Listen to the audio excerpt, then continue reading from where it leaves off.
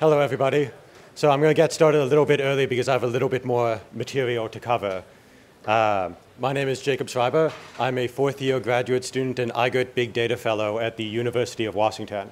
For the last few years, I've been working on this side project, Pomegranate, which implements fast and flexible probabilistic modeling in Python, implemented in Cython for speed.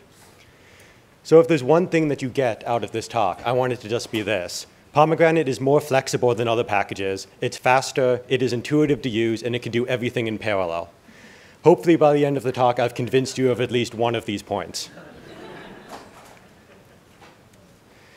Uh, so Pomegranate has six main models that it currently covers, and it has two supporting uh, models that help do that help support these models.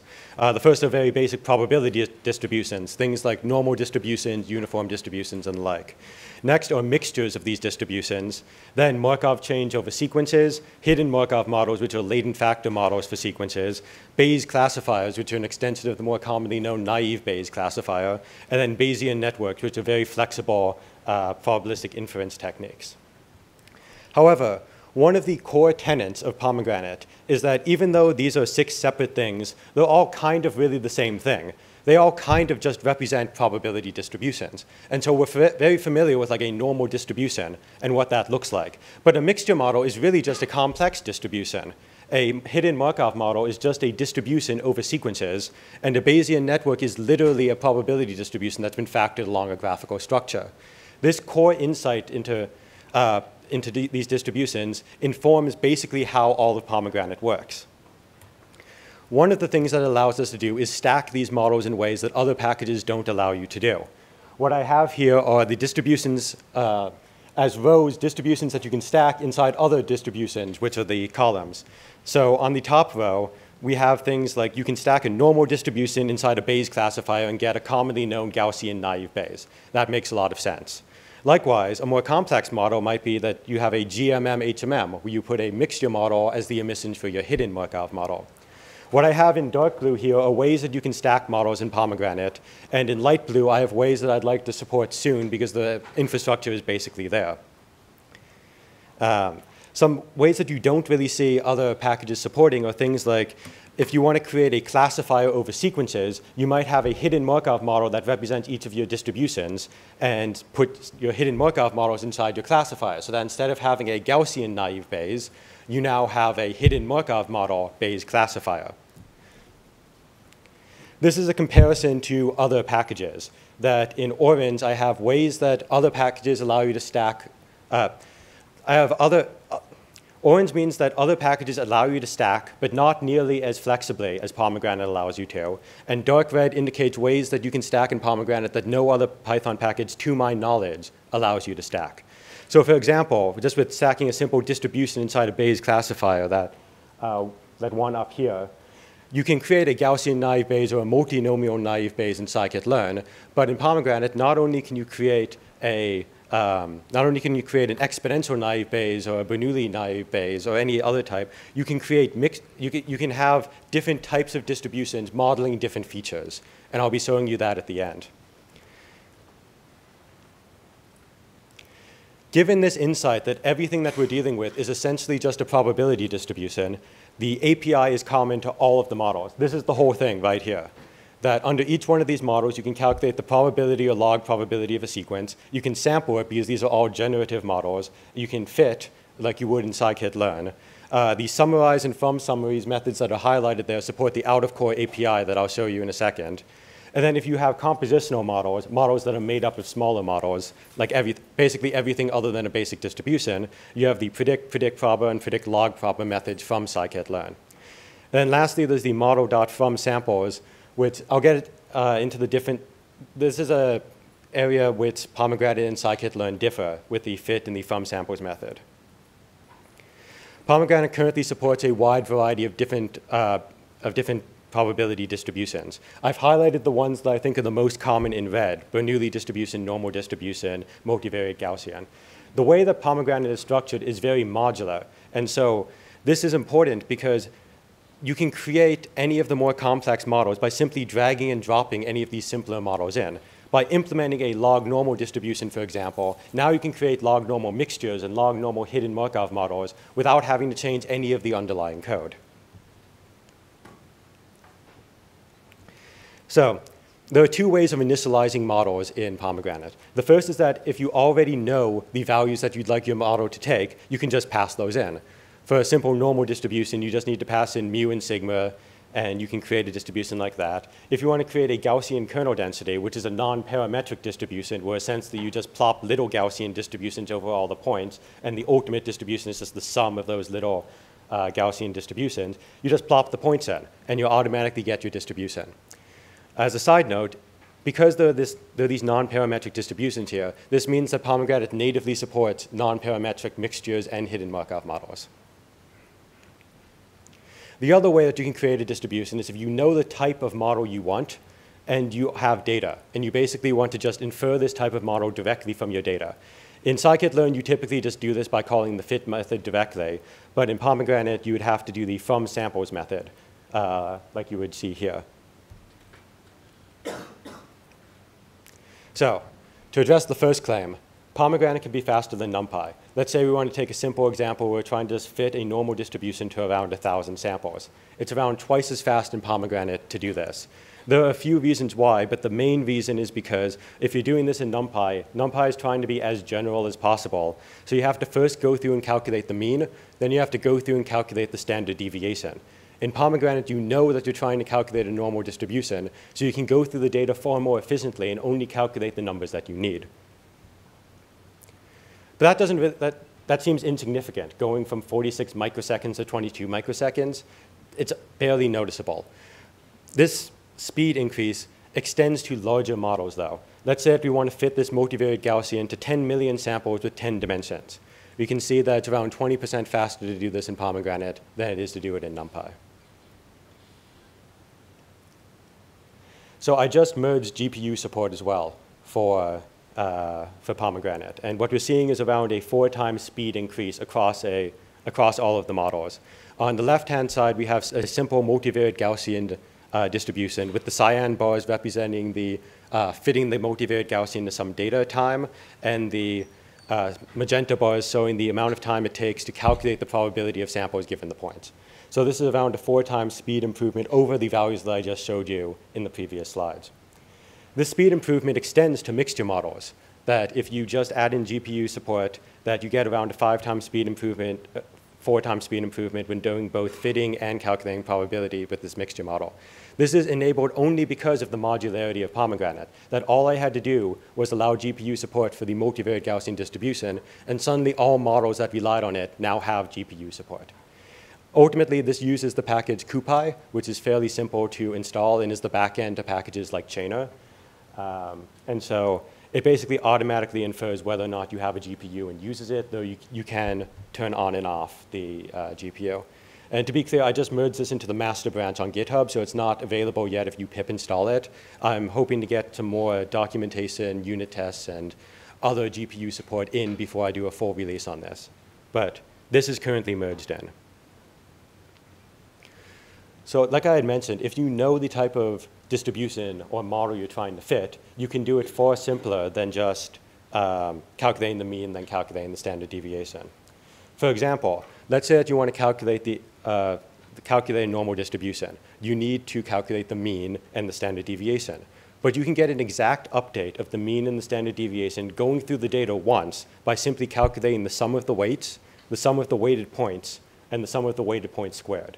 By calculating these three values, you can exactly ca calculate the mean and the variance. So this means that Pomegranate only has to go through the data once in order to calculate this and for every other model. A natural extension of um, these additive updates is that Pomegranate supports out-of-core learning because there's no reason you have to store all of the data in memory if you're simply adding together these sufficient statistics that you load up one batch, calculate the sufficient statistics and store them, calculate, load up the next batch, calculate the sufficient statistics on that and add them to the previous ones and so forth. This is supposed to be two normal distributions, but they're basically identical to machine precision.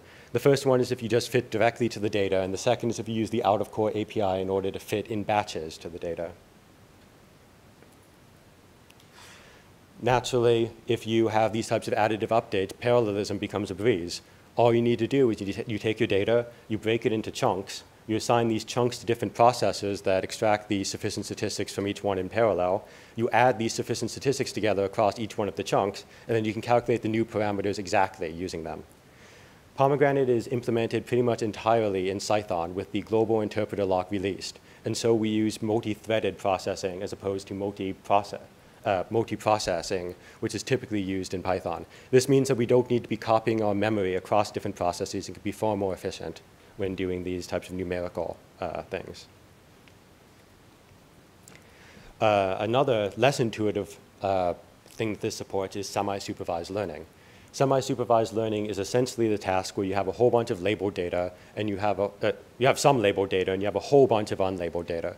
Frequently this comes up in the field of like computer vision. We have a ton of images on you know, Instagram, mostly of food and of cats. And then you have some labeled images, but you don't really want to be spending a bunch of money labeling all of the images in the set. So semi-supervised learning is the idea that we can start off using our labeled data to initialize the model. Then we can fit a supervised model using the labeled data, an unsupervised model using the unlabeled data, and add those sufficient statistics together in order to get a better update that uses both the labeled and the unlabeled data.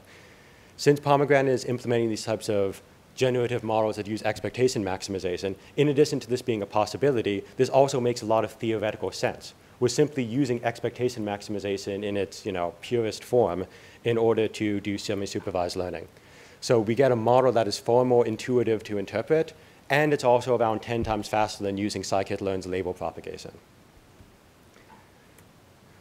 So what you get uh, is that on the left-hand side, that's if you use only the labeled trading data from the previous slide. And on the right-hand side, you get the decision boundaries if you use both the labeled and the unlabeled data. You can see that the boundaries are less sharp, they're smoother between the classes when you use the unlabeled data. And so you're able to eliminate around half the error by you know, using all of this unlabeled data. So if any of you are in a situation where there's a bunch of unlabeled data that you could possibly utilize and you've since not utilized it because it didn't have labels, you can now use Pomegranate with semi-supervised learning and just send me a cut of the money you would have spent otherwise. Pomegranate can also be faster than SciPy. Let's take the task where we want to calculate the log probability of some points under a multivariate Gaussian distribution, a large multivariate Gaussian distribution. This is 2,000 samples with 2,000 dimensions, so very large. Uh, we see that we're around twice as fast if we just do this natively using Pomegranate, but if you've already created the distribution object, then we're around eight times as fast as using SciPy. The reason that this matters is because Pomegranate uses aggressive caching over all of its models let's say that we have, we're trying to calculate the value of a point under the you know, normal Gaussian equation. We have the normal probability equation on the top, then we have the log probability equation in the middle. But you can see that the, the log term, the term right here, doesn't actually depend on your data, but calculating a log is the most computationally intensive part of this equation. Since it's a transcendental function, it requires a lot more computational effort than the rest. So when we create the object, we can simply cast this value because it doesn't depend on the data we're about to see. Likewise, we can do that with the 2 sigma squared, which probably isn't as big a deal, but it ultimately means that calculating the log probability of a point under a Gaussian distribution, now it involves only a handful of summations and multiplications instead of either an exponential function or a log function if you're, or, or both if you have a particularly bad implementation. So I've kind of rushed over a lot of the features of Pomegranate, but I haven't really motivated why someone would want to use probabilistic modeling at all. So I think at this time I should go to a real world example that I'm positive that all of us have encountered in our daily life. And that is trying to analyze Gossip Girl. so a few years ago, my girlfriend wanted me to watch Gossip Girl with her. And from what I could tell, it was about a group of angsty teenagers in Manhattan that took turns hooking up with each other and in general just disappointing their parents. Uh, in the background, there was this enigmatic figure known as Gossip Girl who sent out these text message blasts at the most inopportune times just to stir up drama. This is drama that, of course, could be solved if any of the characters talked to each other like human beings instead of, you know, gazing at each other from afar across a ballroom or glaring at each other to let them know that they're, they're angry at each other. So, of course, naturally, I was hooked. so this was the first uh, blast that was sent out. Spotted, lonely boy, can't believe the love of his life has returned. If only she knew who he was. But everyone knows Serena, and everyone is talking. Wonder what Blair Waldorf thinks. Sure, they're BFFs, but we always thought Blair's boyfriend Nate had a thing for Serena. What a shitty thing to say about just like. this is over half of the main characters of the show, and this Gossip Girl character, who presumably is one of the main characters, is just dissing them. So, in addition to like you know, ragging on whoever this lonely boy character is. They're also ragging on Blair's boyfriend Nate for saying that Nate isn't being faithful to uh, his girlfriend. So the first episode ended with this one Why'd she leave? Why'd she return? Send me all the deets. And who am I? That's the secret I'll never tell, the only one. So at this point, I turned to my girlfriend, and not wanting to let her know that I was actually interested in this type of show, I said that if she helped me figure out who Gossip Girl is using data science, then I would continue watching with her.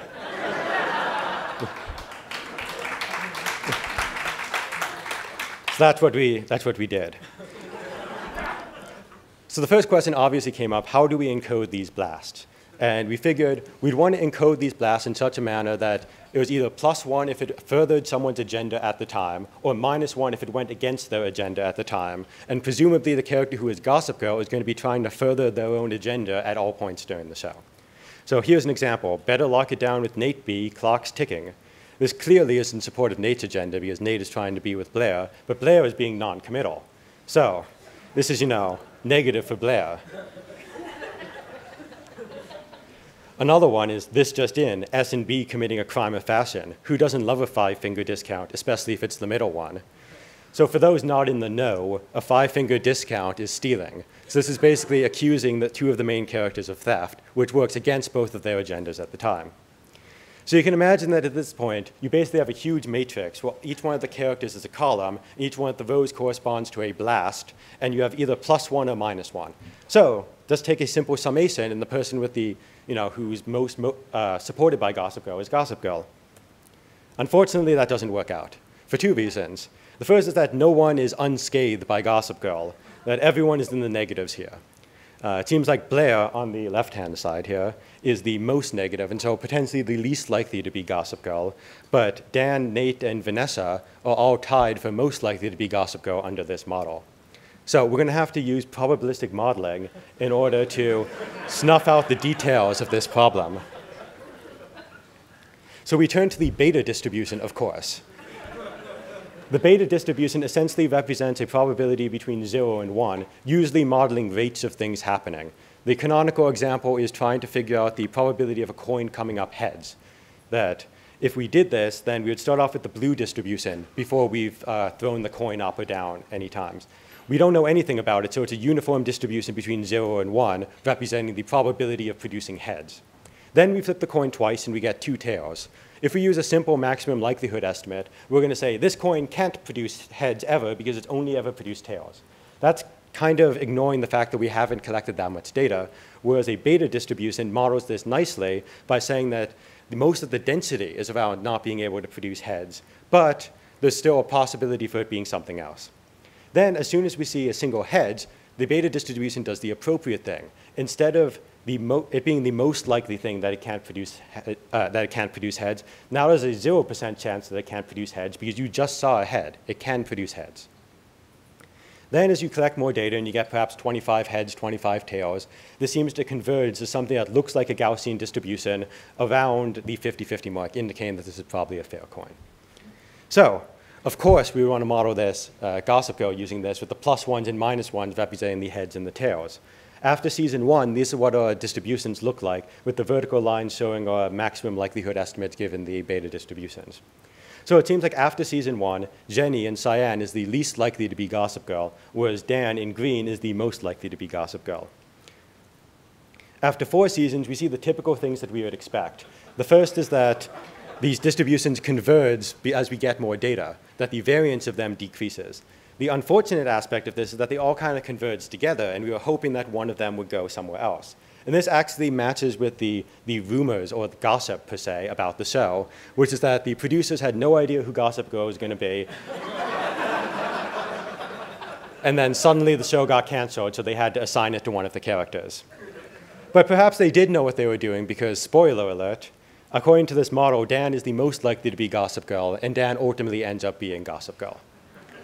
So this is a reason why you might want to use probabilistic modeling in your life.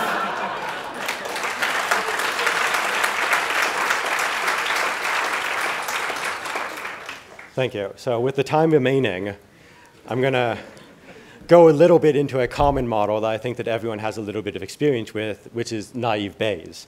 And essentially, this isn't as exciting as Gossip Girl, but uh, essentially what happens is that you can calculate the probability of points using a naive Bayes classifier as the posterior using Bayes rule. Essentially, the posterior equals the likelihood function, which you get from like a normal distribution, uh, times the prior, which represents the class imbalance of the problem, divided by some simple normalization. Naive Bayes makes the assumption, though, that every, that every feature is independent of every other feature, that there's no covariance at all between the features. And so what you typically get is an, uh, a decision boundary that looks ellipsoid, something like this. Uh, on the left-hand side, we have Pomegranate's naive Bayes, and on the right-hand side, we have scikit-learn's naive Bayes. It ends up being some sort of ellipsoid. Since this is just Gaussian blobs, it ends up being spherical, but it can be any general ellipsoid. But let's say that we have data that looks like this, where we have segments that come from some sort of time series signal, and we want to classify them as either coming from the magenta phenomena or the cyan phenomena. Well, our features don't all follow Gaussian distributions. That the mean probably does, but the standard deviation seems like it follows more of a log normal or a gamma distribution, and the duration seems like it definitely follows some sort of exponential distribution. Simply modeling all of these as Gaussian distributions probably isn't going to be as effective as you would like. And we can see that just by comparing. The first two are implementing naive Bayes, you know, Gaussian naive Bayes using either pomegranate or using uh, scikit-learn. But in pomegranate, we can support different distributions on different features. That there's no reason why, according to that equation, we couldn't. Because as long as you have some sort of probability function, you can just, you know, multiply it by each, multiply a different probability function across each one of the features. We can see that by using the normal distribution, log normal distribution, exponential distribution, the appropriate distributions for this task, we're able to get around a 4 to 5% uh, accuracy improvement without getting more data, without cleaning the data, without doing anything fancy, simply by using the appropriate distributions. This comes at no additional computational cost if we compare an you know, increasing size model under Pomegranate with an increasing size model under scikit-learn, it seems like they basically perform similarly, which makes sense because the update steps for naive Bayes are very, uh, very simple. So you get this additional flexibility at no computational cost. But Pomegranate goes further and implements general Bayes classifiers like I said, naive Bayes has this assumption that each one of the features is independent from the other features. There's no reason you have to do that for, in order to use Bayes' rule. You can have any arbitrarily complex likelihood function there that has any arbitrary type of covariance matrix. On the left-hand side, we see what happens if you try to fit a naive Bayes model to this type of data it's not just simple Gaussians, and so it doesn't seem like it performs very well. But if we explicitly model the covariance between the features using the right-hand side with a Gaussian distributions with a full covariance matrix instead of a diagonal covariance matrix, we get a much better model that seems like it eliminates around half of the errors. But even further than that, there's no reason why you have to use a simple distribution. You can just use a, you can use a mixture model as well. On the left-hand side, we, have the, uh, we basically have this complex data that we might see in the real world where it doesn't fit a single phenomenon very well. Um, we can see that both of the classes seem like they have several components to them. And simply modeling it as a single multivariate Gaussian distribution might, might not be the optimal thing to do. So on the left-hand side, we have using a single multivariate Gaussian. On the right-hand side, we have using a mixture of two multivariate Gaussians for each one of the classes. And you essentially get the guy on the Pringles can staring back at you. so to go back to the opening slide, Pomegranate is more flexible than other packages. It's faster. I hope that you found it intuitive to use, and it can do everything in parallel using the additive sufficient statistics that I described at the beginning. There's documentation available, and uh, documentation and an API reference on the Read the Docs site. Uh, so if you'd like any of the, if you want to read more documentation, it's there. If you want to have a, look at tutorials for any one of these models, I've written brief tutorials for all of them, and they're available in the tutorials folder on the Pomegranate GitHub. So I'd like, I'd like to acknowledge the institutions that I've uh, worked at over the last few years who have provided me with either uh, guidance, knowledge, or most importantly, travel funding so that I can come here and speak with you. Uh, so thank you.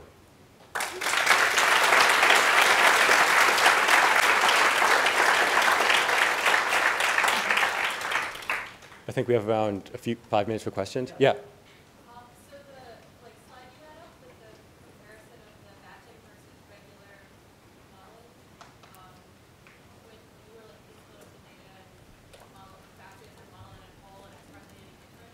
hmm I was wondering, um, if you, like, like what the circumstances were for that test and if you know if it could differ on like your data sets and different models. Yeah. That would make sense, that was like, like having to run it and use data. So you're basically asking, does the out-of-core update produce the exact same update that the full fit method does? And it does, because of these additive sufficient statistics. Um, essentially, you are, doing the, you are doing the exact same calculations, you're just not doing it in the same order as if you do the fit, because you're loading up some data and then calculating the update, and then loading up some more data, as opposed to having to load up all the data and then calculate it. You get the exact same numbers. And in fact, the back end of Pomegranate, the fit function just calls summarize and then from summaries once. Uh, yeah. Uh, what are you using uh, to implement parallelism? Are you using standard library threadpool? I'm using JobLib. Java. Yeah. I'm using uh, multi-threading, the multi-threading option in JobLib. Yeah. So in your Markov models, are you assuming stationary distribution? Is that the stationary regime or is it Yeah, it's a stationary distributions for now. same for hidden Markov? Yeah. Okay. The second is when you're fitting the distribution, are you using the MLEs or method of moments or what type of criteria are you using? I'm using MLE. Uh, and for the same thing applies for hidden Markov? Right, so I'm using expectation maximization followed by MLE on the distributions. I see. And for initial conditions? Uh, for initial conditions, I use k-means. Okay. And that, and that works for Gaussian functions, right? Uh, so it works best for Gaussians, but it also has good properties for uh, other distributions because you start off and it performs best for Gaussians, but then EM allows it to fit to whatever appropriate distribution you're But specifying. They end up in the local. This is true, but all models might end up in local minima. Yeah. Are there any other questions? Yeah. Curious, uh, how does pomegranate compare with PyMC? Yeah, so this question comes up every time. Uh, uh, no, it, it's good because it means lots of people have the question. Essentially, they're doing similar things, but they aren't identical. That the, I give two, good, uh, two responses to this. And the first is that uh, Pomegranate deals far more with discrete latent state, but you know, discrete or continuous emission state. So for example, uh, Bayesian networks, we have a discrete model, whereas PyMC deals with uh, far more on continuous latent space, where the result is that you need to do sampling-based algorithms as opposed to a closed-form solution. Uh, the second is that you can essentially think about it that pomegranate models uncertainty in both your prediction, uh, sorry, pomegranate models uncertainty in your predictions, PyMC and its friends model uncertainty in both the predictions and the parameters of the model. Yeah. Uh, the GPU support, is that for uh, CUDA only, or is that also for uh, I think it supports both CUDA and OpenCL. I haven't yet tested it, which is why I haven't pushed a release that has it yet. Yeah. Uh, you mentioned the way that the out-of-core uh, model works by sort of maintaining a minimal summary state that it can update. Yeah. Um, and one of the examples you can I think like a running sum of all the points that you've used so far. Mhm. Are there worries, or do you have to do things to work around possibly like overflow if you're looking at a very large data set? Yeah, so I haven't, uh, I haven't encountered that in the data sets that I've used that have millions of points. It is potentially a, a problem if you have very large Gaussians. Um, a suggestion that I have to people is that typically in that situation, you can try to norm, you can normalize your data. That if all your values are between 10 million and 20 million, your values could just as easily be between, you know, one and two. And that would make everything work nicely. Okay, well, thank you.